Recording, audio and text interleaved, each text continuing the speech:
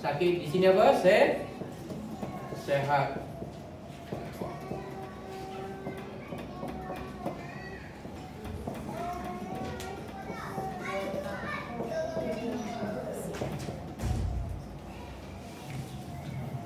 Ya.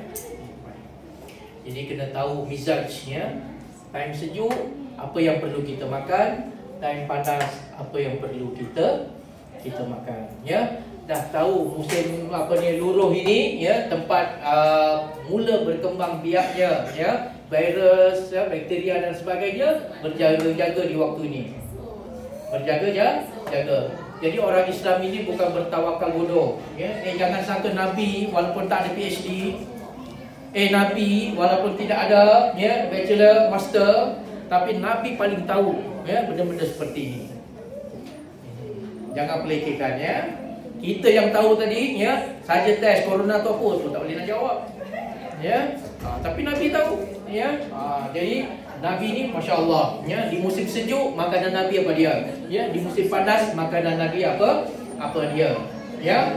Bila datang ya musim luruh ini ya ha, berjaga-jaga ya. Bila datang nak pergi melancong ya, nak buat gathering ya nak bawa jalan-jalan nak bawa apa lagi? Uh, nak mendirikan rumah tangga eloklah musim ni ha, ha, ya musim ni ya musim yang baik ya. Jangan di musim ini.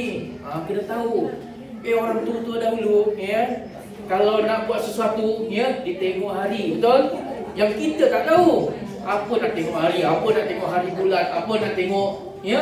Kalau orang Jawa lagi lah ya, ada Jumaat, ada Jumaat Kliwon, ada Jumaat ya, tak apa lagi saya pun tak tahu. Ya. Ada perkiraannya antara ni. Ha. Ya tentang musim, musim apa, musim apa, musim apa, musim apa, ya. Subhan Subhanallah kalau nak uh, apa ni uh, menanam nak mula berternak musim ini Jangan berternak di musim ini mati semua anak ayam.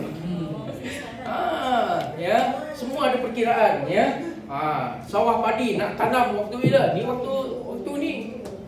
Ya, nanti dia akan cantik dapat musim panas, dapat matahari yang cukup, ya. Musim luruh ialah musim panen. Kalau orang Hindu kata musim ya untuk menu menuai, ya. Ha, jadi tu jadi waktu dia oh, dapat duit banyak apa semua ni. Ya. Tapi bila masuk musim sejuk ni, ah jaga-jaga itu adalah masa ya bakteria virus apa semua tu tengah wah bermaharaja le le tubuh kita tak sehat apabila kita tubuh kita berada dalam keadaan se sejuk ya dan sejuk yang paling maksimum mencekam ialah kemah ada orang mati tapi badan dia panas ada. Ya. Mati-mati pergi panas di badan. Tanda kematian ialah se sejuk. Sejuk itu mula menjalar daripada kaki. Jadi bujari kaki naik atas sejuk sejuk sejuk sejuk. Ya. Sebab tu bila nak cek orang ya nak datang apa ni sakaratul maut tu ya, bukan pegang di kepala, pegang di kakinya dulu. Waduh, kakinya sudah se sudah sejuk. Ya, dia akan naik, naik, naik, naik, naik, naik, naik, naik sampai habis. Kalau tidak ada unsur panas dalam tubuh, inna jadi sejuk itu bahaya, bahaya. Sejuk itu bah, bahaya. Terlampau panas pun bahaya. Nampak ya? Jadi Islam itu apa? Sudah pertengahan, mizaj, ya, pertengahan.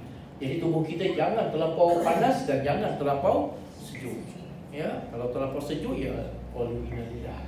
Ya. Kemudian bakteria akan membiak di pH berapa?